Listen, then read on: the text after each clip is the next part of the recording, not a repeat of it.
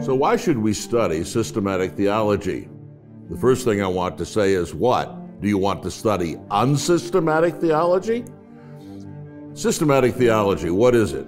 It means that uh, we are studying the teaching of the Bible in a way that pays attention to its great topics and logically connects them and the doctrines internal to these great topics.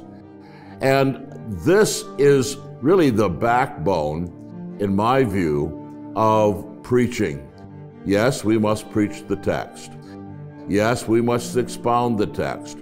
But what we are looking for in the text is the great teaching of the Bible.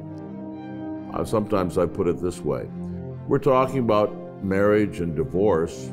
We don't want to know merely about what Genesis says about that, or merely about what the Old Testament says about that, or merely about what the Gospels say about that, or Paul says about that.